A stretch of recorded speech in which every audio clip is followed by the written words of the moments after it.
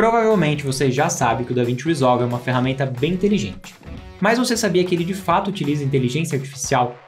A Blackmagic chama de Neural Engine, e é um sistema de inteligência artificial que é utilizado em várias ferramentinhas do DaVinci Resolve Studio, como por exemplo, para equiparar um plano com outro plano de maneira automática, ou para aplicar um ajuste automático numa cena.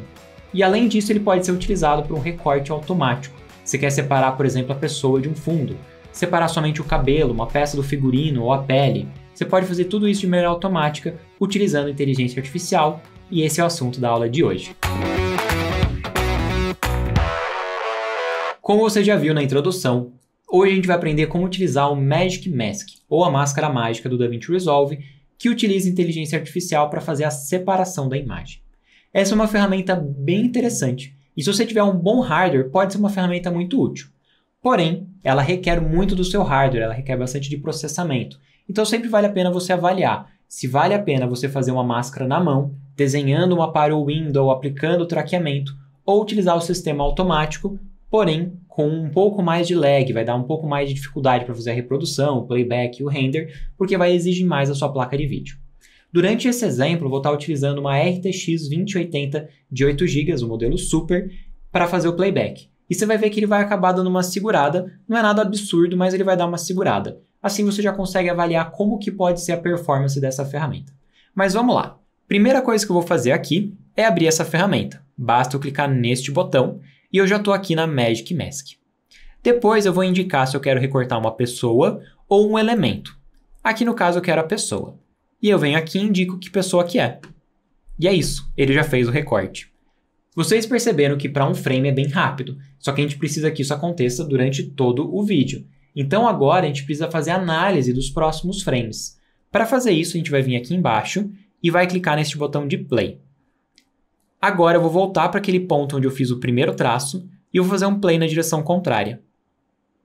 Quando ele terminar a análise, ele vai ficar com esse tiquezinho, indicando que ele terminou a análise. Mas vocês conseguem ver que o recorte não fica aqui excelente. A gente tem aqui uma certa distância entre ela e o recorte, tem aqui uma manchinha e aqui do lado, principalmente, ó, tem bastante sobra. Então, para melhorar esse recorte, eu vou mudar o algoritmo de faster para better. Mas quando eu mudo para better, embora ele melhore aqui no cabelo e na lateral em volta dela, ele acabou se perdendo desse outro lado.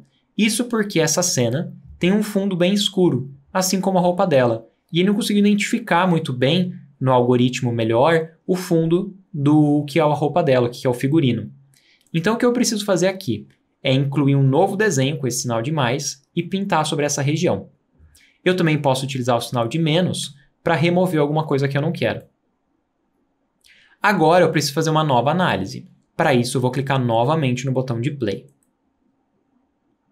Perceba que agora ele apareceu um tiquezinho em todos os strokes e já tem um resultado bem melhor. Eu vou clicar aqui no play e a gente consegue ver o nosso recorte. Perceba que o playback caiu aqui para 10 frames por segundo.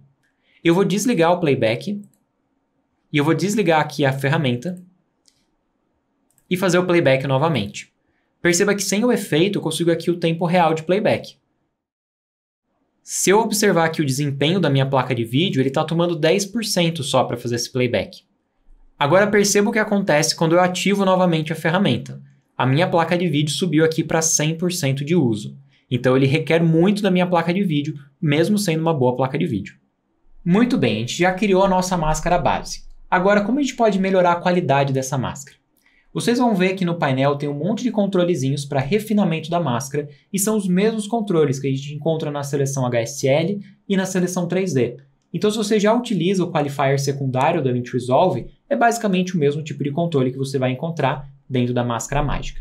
Vamos ver isso na prática. Além do algoritmo que a gente já viu, que é o rápido e o melhor, a gente também tem aqui um controle de refinamento geral da máscara. Você pode aumentar e diminuir esse refinamento, ele vai melhorar o algoritmo, tentando fazer aqui uma seleção ainda melhor. Além disso, eu tenho aqui embaixo como aumentar a consistência dessa máscara. Se você perceber que ela oscila muito durante o playback, você pode aumentar aqui a consistência. Mais para baixo, a gente encontra os mesmos tipos de ajuste que tem nos outros recortes qualifiers do DaVinci Resolve. Por exemplo, eu vou mudar aqui para preto e branco. A gente tem aqui um denoiser, ele removeria ruídos nessas áreas de recorte. Há também um blur, que permite a gente desfocar o recorte inteiro. Então, vou aumentar aqui bastante o blur. E perceba como agora a transição é mais suave. A gente tem também o Clean Black, que ajuda a gente a remover ruídos do fundo, e o Clean White, que remove ruídos do primeiro plano. Black Clip é para garantir que o preto esteja 100% recortado e o branco 100% recortado. Essas opções de Clean Black, Clean White, Black Clip, White Clip são muito úteis no recorte baseado em cor, que a gente encontra dentro do HSL e do 3D. Aqui ele não vai ser tão útil porque a gente tem um recorte bem definido, bem branco e bem preto. Então acaba sendo opções que a gente não usa tanto. O que a gente vai usar mais vai ser o Blur e a relação de in-out, ou in-out ratio. Essa opção permite eu aprofundar a máscara ou esticar a nossa máscara. Vamos ver isso na prática. Primeiro eu preciso mudar para modo de cor e perceba como a gente tem essa sobra aqui do lado dela na hora que eu desfoquei. Então eu vou trazer aqui do in-out mais para dentro e assim a difusão fica um pouco mais para dentro da imagem. Na verdade, a nossa máscara toda, não só a difusão. Agora eu vou desligar a varinha mágica para visualizar a minha imagem realmente e aplicar o nosso ajuste. Vamos colocar aqui um ajuste de curvas. Eu quero basicamente deixar a pele dela mais clara, mas mantendo aqui um pouco do contraste. Assim a gente vai destacar ela em relação ao cenário.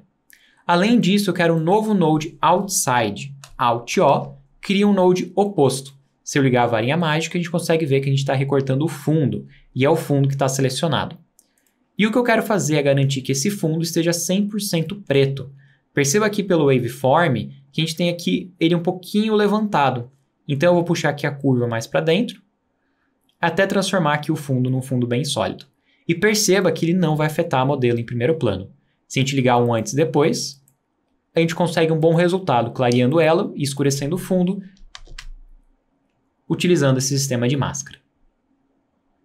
Bom, eu comentei que a gente pode recortar uma pessoa inteira ou elementos. Vamos ver agora como a gente pode fazer esse recorte por elementos. Eu vou extrair o cabelo dela para a gente tentar fazer o cabelo ter mais brilho e mais textura, mais ou menos como faria no comercial de publicidade de shampoo.